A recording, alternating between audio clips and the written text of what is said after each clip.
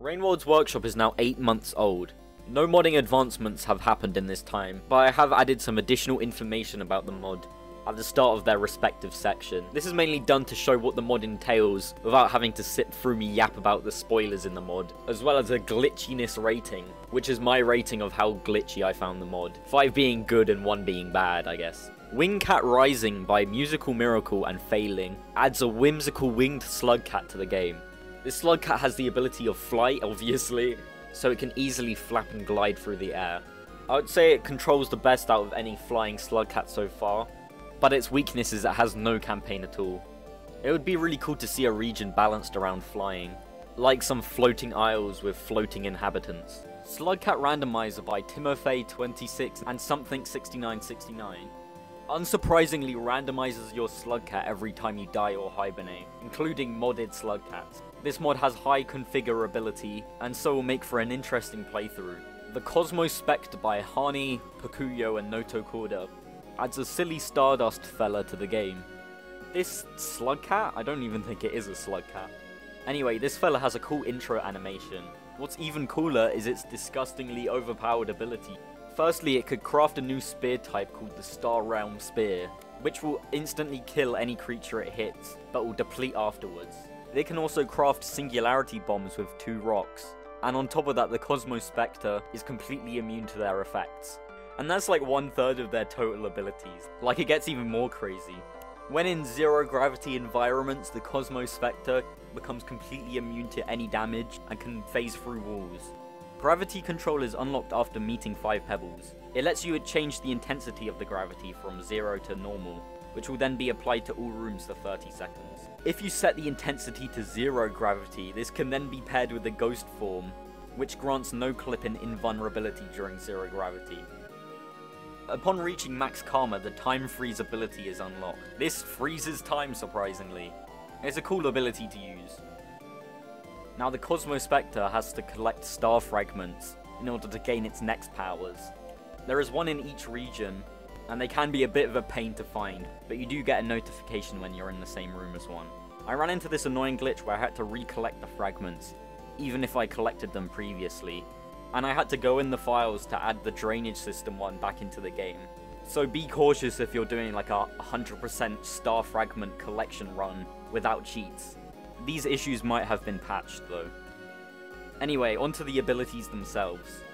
Space teleportation is unlocked when collecting a star fragment.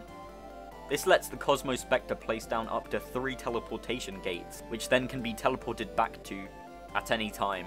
The last ability is Time Reversal, which is awarded upon collecting all star fragments. This lets you reverse time. This is probably my favourite one because of how cool it is but it was a massive pain to collect all the fragments. Overall, it's no surprise this Slugcat is incredibly OP, but the abilities are quite ambitious and complex. I think you sort of have to play this Slugcat like you're playing Dishonored, where it's fun to see if you can kill creatures in the coolest way possible, by using synergies between your cool powers. I do feel like the custom Slugcats are getting a bit too OP now, which I don't really like since it trivializes Rainworld's actual gameplay. Hopefully developers can start to actually balance their slugcats in ways that bring unique challenge to the player. Expanded Industrial by Oscarriaq adds more industrial rooms. I don't know what you want me to say. This is a cute little mod that adds 30 plus rooms to Industrial Complex, specifically the undergroundy sections, found near the garbage waste gate. There is definitely some cool rooms to discover, and they all look good since Oscarriaq has mastered the vanilla style. Inv'd Superstructure by Magic adds INV-exclusive gimmicks to Submerged Superstructure. It has been renamed to Andrew Forgot About This One LMAO, and the Vent subregion has now been called Venting. All of the water in this region has been removed, and there is now a ton of stowaways lurking on the ceilings. Bitter Aerie has now been renamed to Blinding Aerie, and I mean, I, feel like it's kind of self-explanatory. Anyway, I recommend this mod to any INV players out there. Like, are they called INVers? INV heads? Clinically insane, who knows? But yeah, this mod's for you.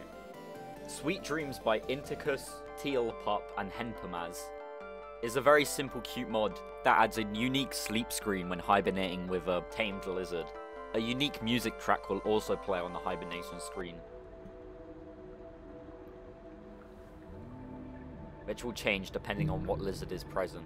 Overall, a really nice mod with cool music and art. However, it doesn't work with Downpour Slug Cats or Downpour Lizards.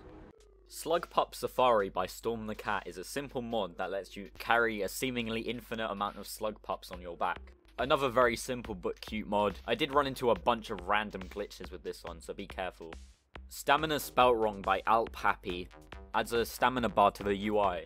This shows how much stamina Gourmand has before it gets tired. Gourmand will also emit sweating particles when nearing the exhaustion threshold. This stamina UI also works for Artificer jumps and will also appear for Starving Slugcats too. Very cool mod, especially if you don't like the seemingly randomness of Gourmand's exhaustion. The Escort by Urufudoggo has received a bunch of updates since last time I covered it. I'll quickly summarize the major updates. Firstly, the default Escort has now got a slug puppet must. Guess what? escort through the world. I don't think it has a campaign yet, so you just can take care of it, I guess. There is now a UI element in the bottom left corner, which displays useful information regarding the escort build you're playing. Each escort build now has a unique starting location, and the escapist build has been sacked during the cabinet reshuffle because it's no longer a Tory build, let's go! After I whined about it being a boring build, Urufudoggo reworked the build and now it's much cooler. Double tapping a direction causes the escort to dash forward, leaving a cool new shadow clone behind. It can also be exploded with damage to cause an AoE effect. These body doubles remind me of Castro from Hunter x Hunter.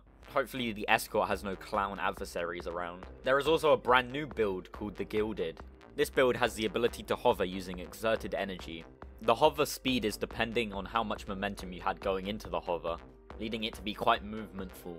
The Gilded cannot actually use normal spears, but it can turn them into fire spears at the cost of energy and use those instead. But yeah, that's a brief summary of all the updates. I recommend the Escort if you want a crazy Slugcat to play. The Impulse by Phace adds a simplistic zippy Slugcat to the game. This fella has the ability to teleport short distances, which kind of works the same way as an Artificer jump does. It can also make electric spears and electric rubbish, which surprisingly stuns enemies. It's a very cool, simple Slugcat, I think. Bird Skin by Slime Cube converts Slugcat into a little birdie. This is not a Dress My Slugcat skin actually, which is kind of base, and so will overwrite any Slugcat, including custom ones, to be little birdies. Very epic mod.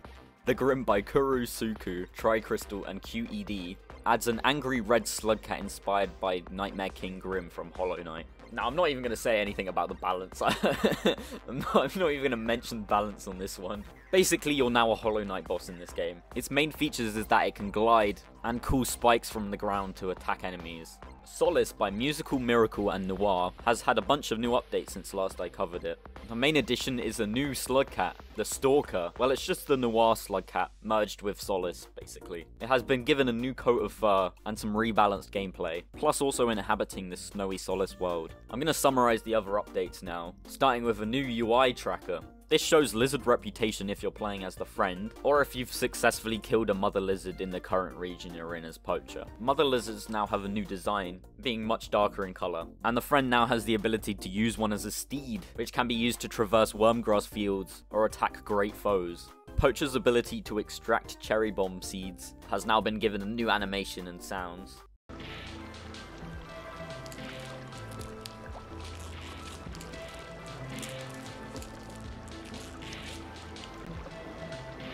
And Looks to the Moon now has a unique cutscene. So if you want to set a goal for these snowy slug cats, reaching Moon is a good one. Since I gave Noir Mod of the Month, does this mod become Mod of the Month now since they merged? Yeah, sure, it's, it's Mod of the Month.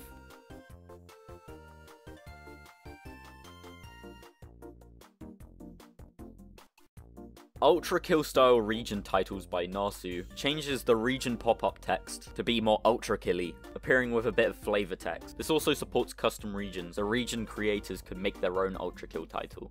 Very cool mod.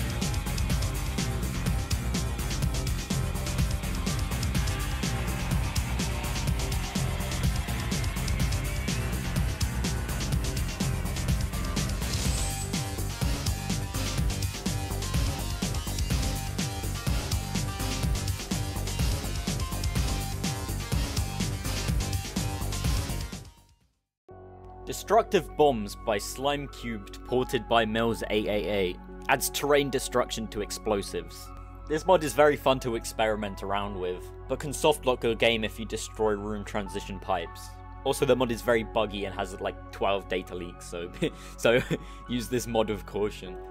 Inventory by Lee Moria as an inventory to Rain World. Whoa, crazy. You can access the inventory by pressing the map button. What I love about the mod is the UI seems really janky, but it's not. It works actually really smoothly. You can toggle back to the map by pressing grab, or deposit or retrieve items in the selected slot with jump. So yeah, very nice 1.5 port mod. Now time for the small mods that don't need my commentary. Oh, Light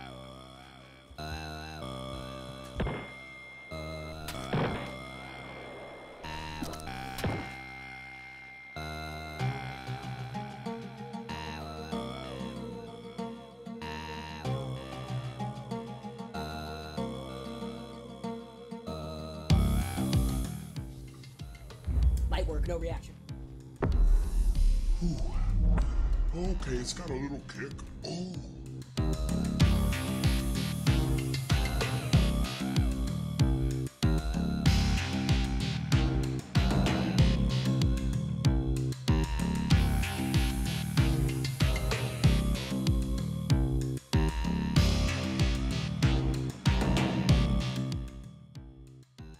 Wow, what a cool modding video. Sorry I missed two months in a row.